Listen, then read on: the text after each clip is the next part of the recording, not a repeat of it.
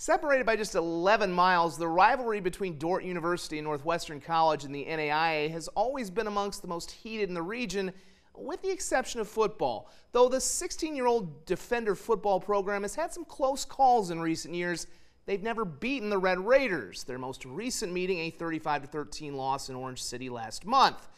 That meant the Defenders couldn't possibly upset the defending national champs in their first ever playoff meeting in today's NAIA second round rematch, right?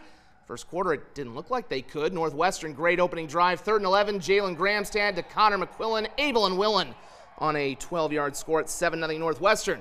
Those would be the only points, though, that Joel Penner's defense would allow.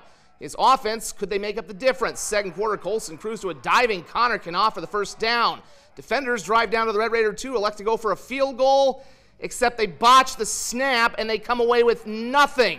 It's 7 0 Northwestern at halftime. Matt McCarty's defense turns up the pressure in the third quarter.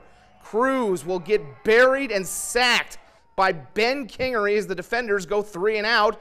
Yet the Red Raiders could not capitalize as they managed just 155 total yards of offense. We go to the fourth quarter and it's crunch time. Cruz with a clean pocket this time, a 32 yard connection with Eli Bolden. The defenders would get down to the Red Raider one.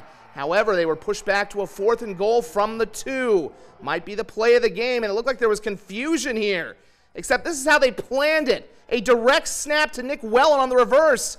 Looked like he might have even wanted to throw this football, but it's strung out. He tries to bounce off a tackler and is stuffed by Clayton Bosma. Turnover on downs. Dordt with one final chance, 119 to go, fourth and long at midfield. Cruz's pass broken up by Cody Mosier and the defending national champs survive and advance in a slugfest, seven to nothing.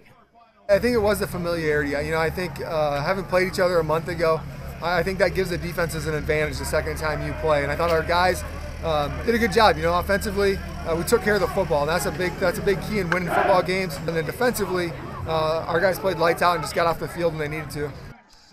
The Red Raiders will host the quarterfinals next weekend and find out their opponent later tonight.